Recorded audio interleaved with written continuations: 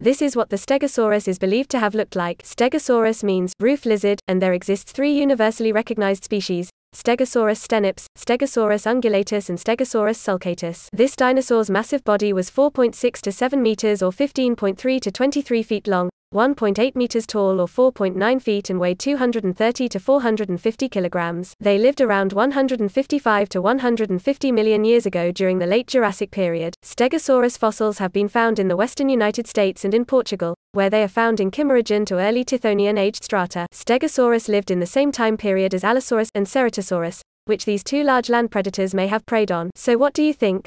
Subscribe and comment below.